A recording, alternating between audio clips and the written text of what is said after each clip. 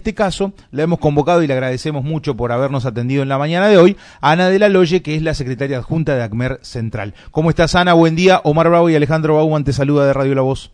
Hola, ¿cómo les va, chicos? ¿Cómo están? Bien, muy bien.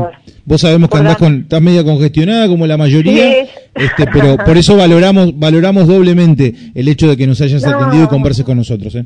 Está bien, no hay problema, no, no hay drama, Lo, estamos así, el clima hace que, que nos pasen estas cosas. ¿Y, ¿Y, cómo viene el humor, cómo viene el clima en el ámbito de, la, de las paritarias?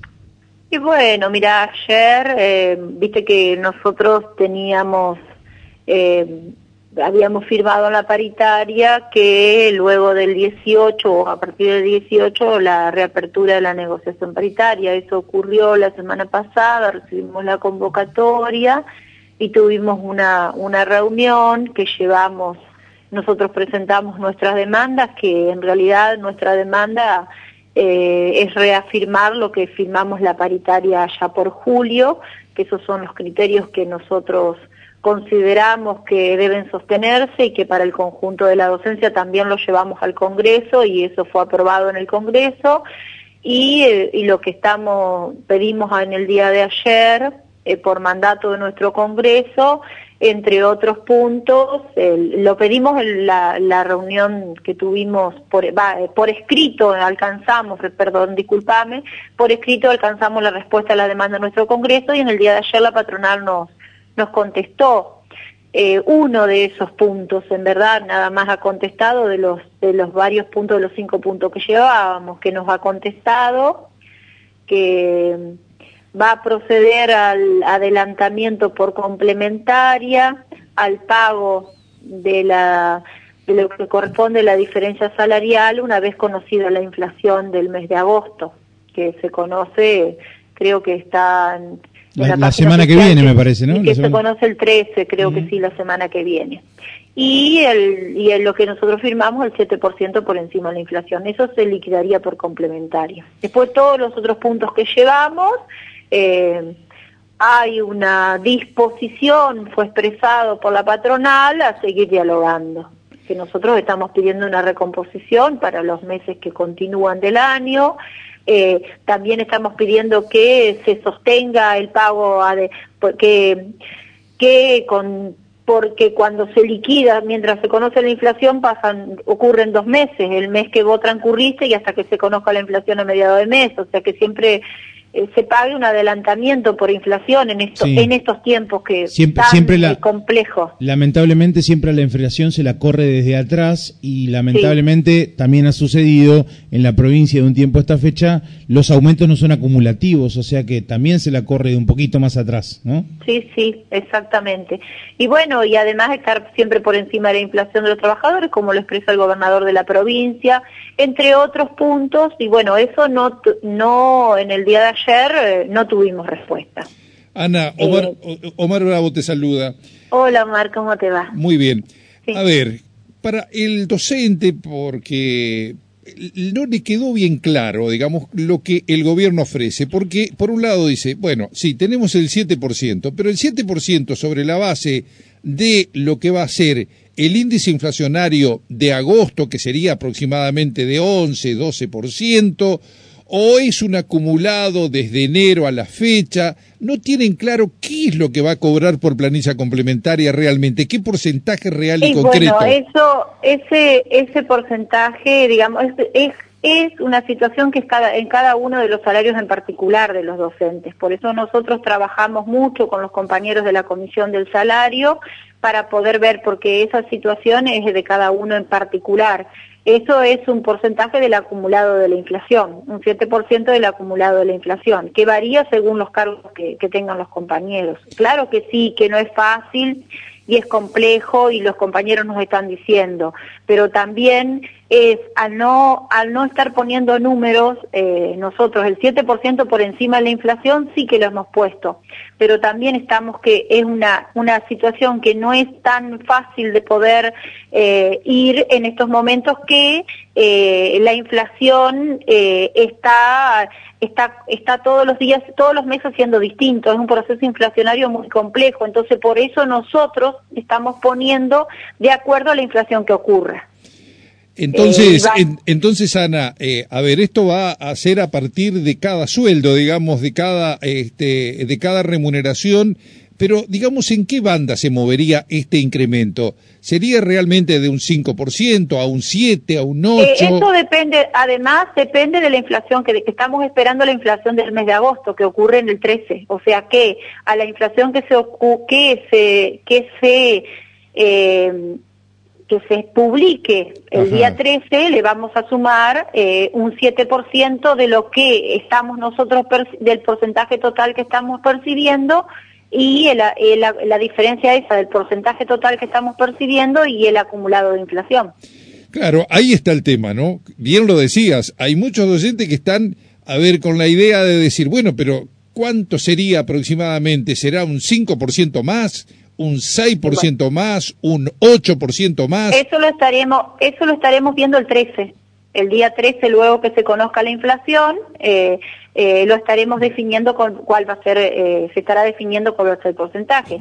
Yo lo que lo que quiero expresar, en realidad, la mayoría de las consultoras están hablando de un porcentaje de inflación que, que va a rondar cerca de los dos dígitos. Entonces también Esa, es nuestra, esa es nuestra preocupación y por eso no lo ponemos en número porque eh, hemos pasado, hemos hecho un acuerdo muy importante que para nosotros es muy valorado y para toda la docencia en, en el mes de febrero, que significaba un 40%, un porcentaje que era el le puedo decir el mejor de todos los de los convenios colectivos de todos los trabajadores y en verdad cuando llegamos a los meses de mayo ya estábamos con problemas. Así que eh, por eso hemos tratado con la mayor inteligencia ah, qué poner ah, números, sino de mirar la inflación. Está bien. El, el tema hoy por hoy es, lo decía el secretario de ACMER, ¿no? Que se fueron con las manos vacías prácticamente y ahora viene el Congreso. ¿Qué irá a decir las bases? ¿Qué irán a plantear los delegados a partir de la consulta con las bases en función justamente de esto, donde muchos se plantean a través de un proceso este, inflacionario, a esto agregado una devaluación realmente muy importante y saltos en los precios que eh, en algunas provincias se plantean arriba del 25-27%, pegaron los saltos de los precios hoy por hoy, ¿no? Así que eh, esto va a ser eh, un tema en el cual se va a discutir mucho ahí en el Congreso, ¿no? Seguramente que mañana en la ciudad de Paraná tendremos un debate muy importante. Ya en el día de hoy eh, nosotros eh, se están realizando las asambleas en, todas las escuelas. Ayer se realizaron el, turno nocturno, hoy a la mañana y a la tarde y nosotros eh, con mañana muy responsablemente y con mucho respeto estaremos escuchando todo el análisis que traen nuestros compañeros congresales. nuestros congresos mucho debate, mucho análisis y bueno, y eso estamos dispuestos de la comisión directiva a escuchar el mandato de todos los compañeros a través de los congresales. ¿Qué, y llevaremos... ¿Qué, qué es lo, ¿Qué es lo primero que, digamos, eh, a partir de estas primeras asambleas se puede percibir? Eh, ¿Una cierta molestia, disconformidad? ¿Qué es lo que se, se eh, observa? Nosotros no tenemos hasta el momento, pero sí lo que te puedo decir que es lo que salió en el Congreso anterior, que era este, esta, esta, esta de, esta resolución que la resumíamos en estos puntos como, como te lo expresaba y estimamos que esto hoy se va a reafirmar y los compañeros están analizando la respuesta que hemos obtenido. Y bueno, eh, no es tan fácil la situación por la que estamos atravesando y sabremos con el respeto y con que también con, con la responsabilidad como trabajadores y nosotros como representantes llevar, la, llevar el mandato que nuestros compañeros nos, Así que entonces, eh, mañana el Congreso de ACMER y por el otro lado, se liquidaría por planilla complementaria, sería la segunda quincena de, eh, de este mes de septiembre, lo que correspondería a este porcentaje que se va a saber recién el día 13 o 14 cuando se conozca el índice de agosto. Así sería, ¿no? Es así, es así. Es así el compromiso que ha asumido el gobierno provincial y nosotros estaremos atentos y exigiendo que, que se liquide a la brevedad, inmediatamente conocida la inflación. Eh, te hago la última pregunta, Ana.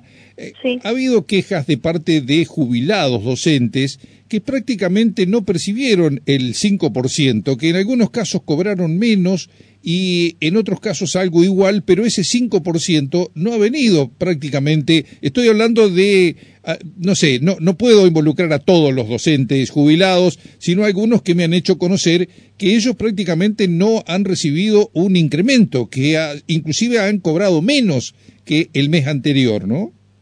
Eh, mira, eh, nosotros estamos dispuestos a poder... Eh, trabajar con cada uno de los compañeros y en la seccional y en los territorios están, estamos trabajando y estamos dando respuesta a, a, algunas de las demandas que eh, están presentando, porque esto hay que mirarlo en forma particular de cada uno.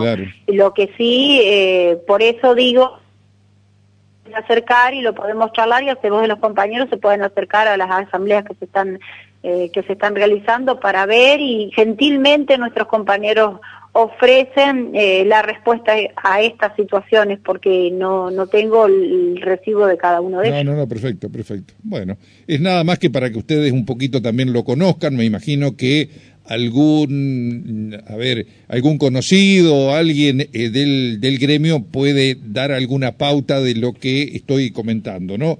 Sí, sí, es que tenemos, por eso yo te lo digo, tenemos algunos conocimientos y estamos, estamos respondiendo y viendo y analizando cada, cada una de las situaciones, porque en el mes, en el mes pasado, el mes pasado también se cobraron retroactivos de, de los, de los aumentos anteriores, que ese retroactivo eh, hoy no se lo está viendo, entonces los compañeros por ahí eh, vos mirás el monto final de que recibí en el bolsillo y claro, no es lo mismo que el monto final, que no es el no no podés hacer análisis del de los montos finales, digamos, porque no es tan eh, no es tan fácil la interpretación cuando tenés otros eh, retroactivos que hemos recibido por meses anteriores. Perfecto. Bueno, Ana, queríamos conversar con ustedes porque como bien lo planteamos, ¿no? Había como un, o existe todavía, ¿no? E, este hecho de no saber qué es lo que se le va a liquidar este, en, por planilla complementaria, qué porcentaje le va a corresponder al, al docente en función de que todavía no se sabe el índice inflacionario de el mes de, eh, de agosto, ¿no? Que va a ser muy alto, algunos hablan de 11, de 12% inclusive. Así que, bueno, estaremos como atentos, a lo que ocurra. Sí, nosotros eh, lo que valoramos de lo que resultó de nuestro Congreso es eh, la, la, anticipación de la exigencia de ese pago por complementaria, porque si no lo hacíamos, cierran la liquidación. Si, esperaba, si nosotros esperábamos a que, eh, a que se conozca la inflación, cierran los procesos de liquidación y esto no se podía hacer. Por eso, si bien no tenemos el número, pero nosotros pusimos esa demanda, eh, creo que muy inteligentemente el Congreso para que la patronal dé respuesta. Exacto. Ana, te agradecemos muchísimo por estos minutos y esperamos te recuperes pronto. Un abrazo grande. Un abrazo grande. Chao, chao. Hasta luego. Chao, hasta luego.